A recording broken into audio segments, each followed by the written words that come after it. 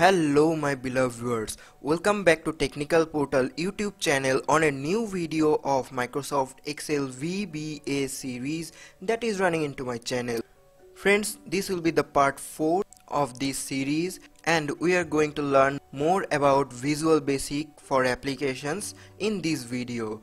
So, what we have learned in our previous video, here you can see we have learned what is VBA, what can you do with a VBA, advantages and disadvantages of VBA, recording the macro, how to test the macro, how to examine the macro, modify the macro and saving the workbooks that contains macros. And we have also learned what is the macro security.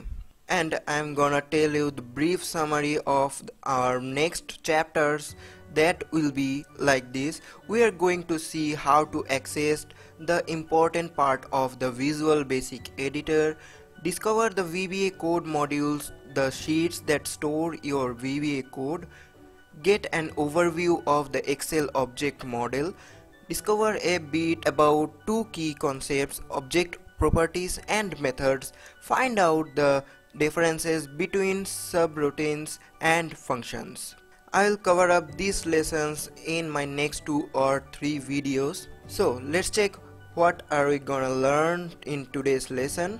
We're going to learn what is the Visual Basic Editor that is VBE in short form, how to activate the VBE, understanding the VBA components, working with the project window, what's new in the Visual Basic Editor. So let's get back to the Excel interface. So as I have told you in the understanding the macro securities I have told you that whenever you open an untrusted macro enabled workbook you will get this option here. That is security warning macros has been disabled. So here you have to go to the option and enable this content to get your content actually so now the macro enabled worksheet has been actually enabled with macros. We're going to learn what is the Visual Basic Editor. The Visual Basic Editor often referred as to the VBE in short form is a separate application where you can write and edit your VBA macros. Beginning with Excel 2013 every workbook displays in a separate window however there is only one VBA window and it works with all open excel windows. So you can't run the VBA separately. Excel must be running for the VBA to run. And how to activate the window of VBE the quickest way to activate the VBE is to press alt and F11 key from your keyboard. Otherwise you can also minimize it and go to the developer tab then click on Visual Basic it will open the same thing.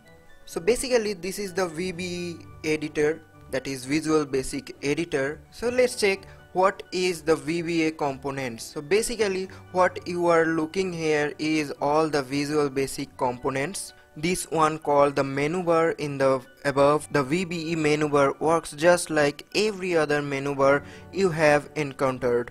It contains command that you use to do things with the various components in the VBE. You also find that many of the menu commands have shortcut keys associated with them.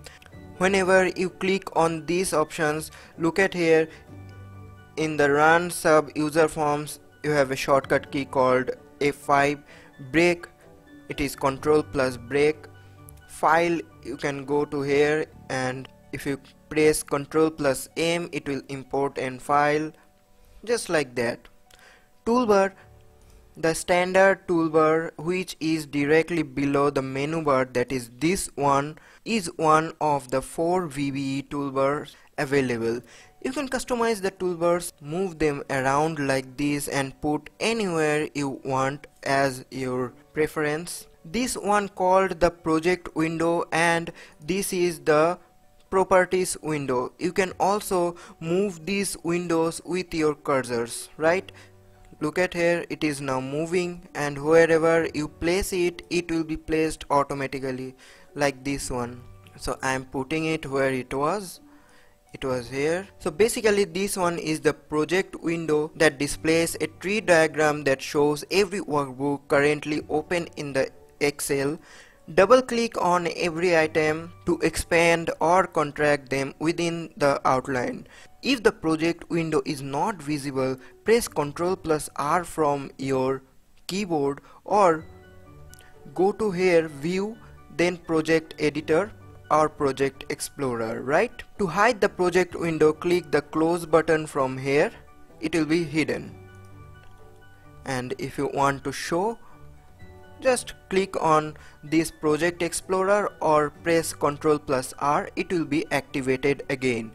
And this one called the code window. A code window is where you put the VBA code. Every object in a project has an associated code window. To view an object's code window double click on the object in the project window here.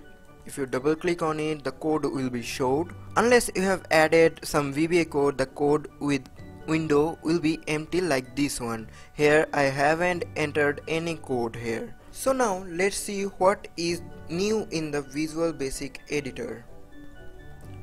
So friends, Excel 2007 introduced a brand new user interface Menus and toolbars were replaced with a sleek new ribbon user interface but the VBE never got the facelift and has kept the old school menu and toolbar UI.